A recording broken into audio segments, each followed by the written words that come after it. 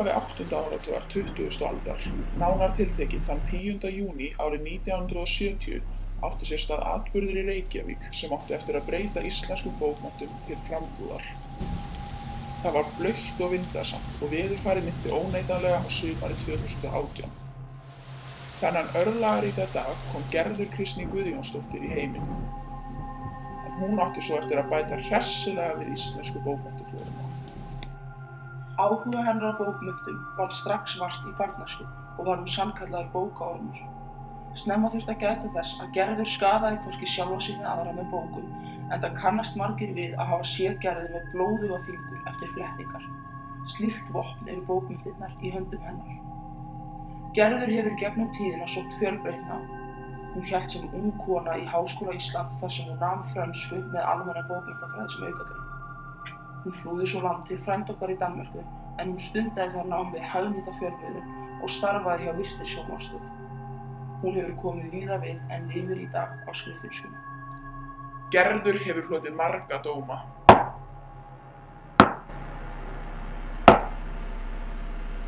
Meðal þeirra verka sem hún hefur verið dæmt fyrir barnabækur, skáldsögur, ljóð, smásögur og tímaritsgreina. Hún hefur setið lengi inni og nýtt tíman við að skrifa geysivinsalar barnabækur. Ballið á Bessastöðum kom út árið 2009 og var bókin gefin út af Dimmu EHF. Þar segir hún að sniðuðan hátt frá forseta Íslands og fjörugum krakkahópi. Meðal annara barnabóka sem Gerður hefur sendt frá sér er Garðurinn en það er drungaleg bók sem endurspeglar stíl Gerðar vel.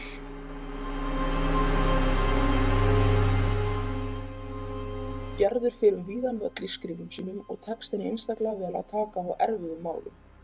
Myndin af pappa Sagatalmu er einmitt slík bók. Þar segir frá sögukona sem heitir Talma og ólst upp í Hafnarfjörði um 1960-1970. Sagan er og segir frá hræðilegri lífsreynslu sem Talma og systurina fjórar upplifðu í æsku. Faðir þeirra aðri nýðingar beittu þær gróðu kynferðisofbeldi um árabil en Talma sagði engum frá því þegar hún var fullorðin kona og komst í kynni við stígamót. Bókin er átakanleg og áhrifarík en Gerður gerir einstaklega vel í að skila svo viðkvæmri sögu frá sér á yfirvegaðan hátt. Verk Gerðar hafa ekki einskóðast í bækur, heldur hefur hún einnig verið dæmd fyrir ljóðagerð. Ísfrétt, hennar fyrsta ljóðabók, vakti strax mikla aðtekli lögreglumanna sem og annara borgara. Síðan hefur hún hlotið margar viðurkenningar fyrir ljóð sín og óhætt er að segja að hún hafi yllt sig inn í hug og hjörtu landsmanna. Hún hefur meðal annars unnið ljóðstaf Jónsson Vör og ljóðaverðin Guðmundar Böðvarssonar. Árið 2010 hlaut hún í svo íslensku bókmyndaverðinin í flokki skáldverka fyrir ljóðasafnið Blóðhófni. Þema þeirrar bókar er Jötun megin og nafna höfundarins Gerður Geimistóttir. Þarna er Gerður Kristný að setja efni skýrnismála í nútímanlegan búning.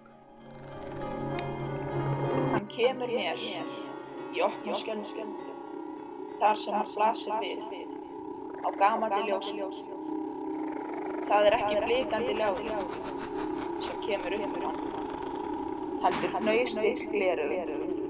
Það hlaut að vera að hann sæi þetta, eins ómannglöggur og hann getur verið.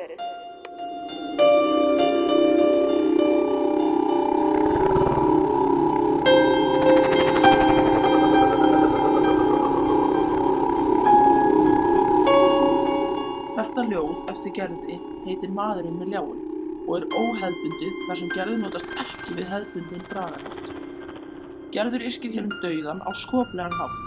Hún talar um að maðurinn með ljáin sem er nöystitt glerugu sem útskýrir það hvað hann er ómannglöggur þegar hann velur sér hvernig hann deyðir. Gerður hefur í gegnum feril sinn hátt blóðið á baráttu við því karlaga bókmyndasamfélag. Já, staða konunnar er mér afar hugleikin og ég hef rosalega mikla samúð með konum. Ég held að það byrtist líka alveg í verkum mínum að ég tek mér stöðið með konum og hika alls ekki við að fjalla um kúgun og ofbeldi gegn þeim. Ég er samt ekkert bara alvarleg og þó svo að mörg verk mín séu kaldranaleg hef ég húmor líka og ég held að það hafi fleitt mér langt. Það er eiginlega bara dularfullt hvað ég er góð í þessu öllu saman. Sökum þess hvað fjölbreyttur og vandvirkur höfundur Gerður er hefur hún notið gífurlegra vinsalda og til marks um það hefur hún unnið til þó nokkur að verðluna.